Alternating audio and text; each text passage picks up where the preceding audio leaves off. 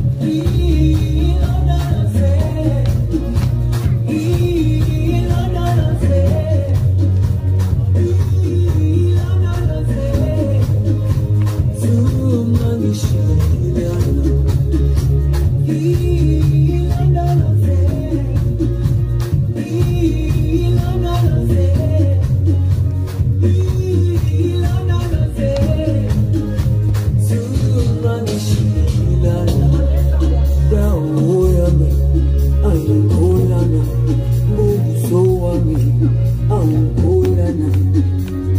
ilondoloze zuhambena dawo yami ayikhonana